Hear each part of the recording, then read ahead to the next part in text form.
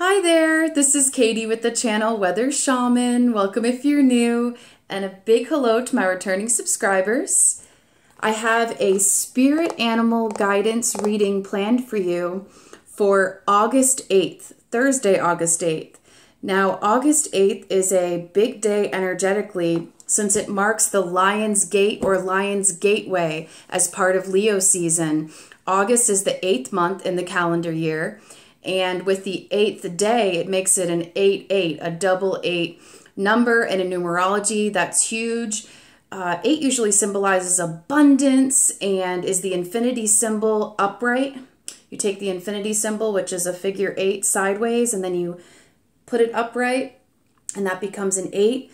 So let this Lion's Gate energetic portal or gateway bring forth an abundance of good energies, good vibes, and help accelerate and push you forward into your life purpose. Okay, I'm going to go ahead and shuffle the deck and see what spirit animal wants to come out for this Lion's Gateway energy on 8 8. Dear angels, archangels, ascended masters of the highest Christed light, please help give us a card for August 8th. This one looks like it was just popping out, so let's see what it says. All right, we've got the frog, frog spirit. I love frogs. These also have a very abundant, loving energy. Frog, it states, clear out the clutter. Oh, I know I need to do that. Declutter and make room for the new. The more that we take time to empty out old stuff in closets and stuff under our bed and throw things away we don't need, the more space that we're going to create to allow room for the new and beautiful blessings that are trying to come in and come forth into our life. In order to be more receptive to blessings and gifts and new beginnings in our lives, we have to be sure that we have the space energetically and physically to receive them and to be open to them. So go ahead and do some decluttering and maybe organize and some feng shui.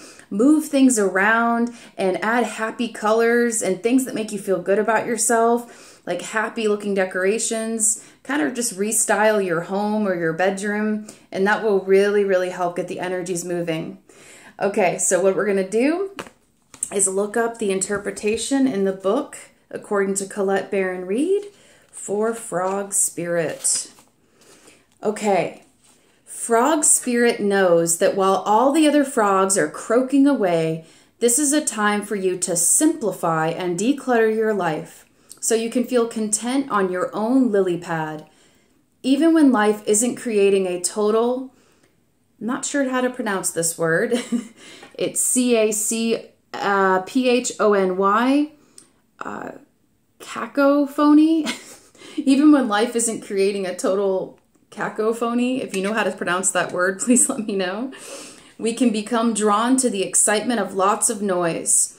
Then, the next thing we know, our schedules and homes are cluttered with commitments we regret making and objects taking up valuable space. Even relationships need decluttering, as they often become messy. Frog Spirit appears to tell you to clean house, prioritize what you need, and get rid of and get rid of or get away or give away the rest. So you can have some space in your day and in your head. You don't need the old stuff and its stories shouting at you about the past. Along with physical clutter, friendships are sometimes kept long past their expiration date, weighing you down with unnecessary baggage. Now is the time to let go. Whatever you need will appear when you need it. So release your grip on all that clutter that is making you feel anxious and burdened.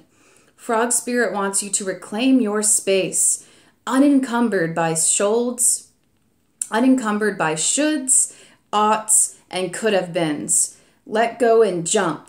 You are free from all that old stuff.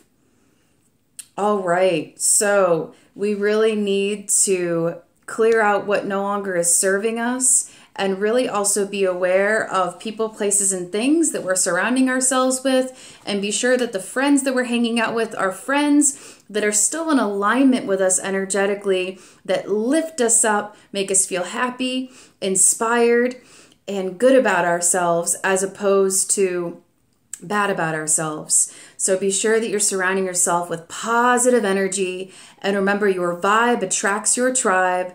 I got that from Ralph Smart, Infinite Waters YouTube channel. So if your vibe attracts your tribe, that means that it all starts with you. All starts with going within, okay?